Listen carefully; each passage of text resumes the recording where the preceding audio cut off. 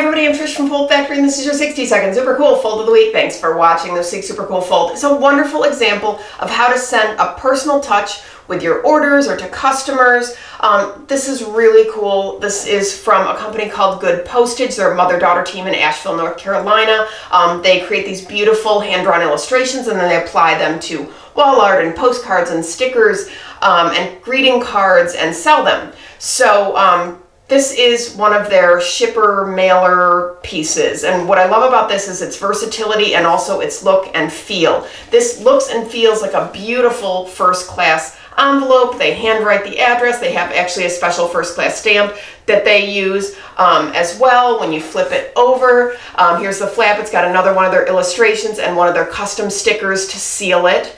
Um, which is really nice. Looks exactly like uh, a really pretty envelope and then you open it up and it's actually, I'm going to call it an envelope iron cross. It, it, it basically breaks down like an envelope and into an iron cross format and you can see the different shapes on the flaps, the more pointed ones, top and bottom.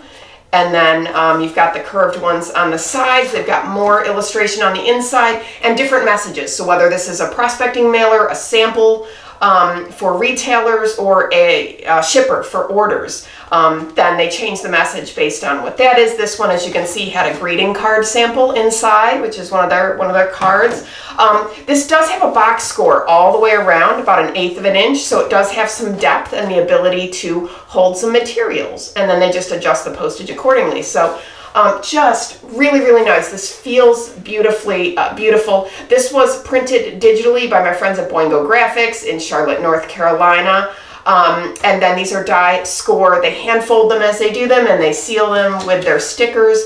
So just simple, personal, versatile. I love the versatility of this piece. Um, and paper is 130 pound cover, um, classic crest, bare white. So it feels beautiful. Um, so I hope you like it. That's your 60 second super cool fold of the week. Envelope Iron Cross.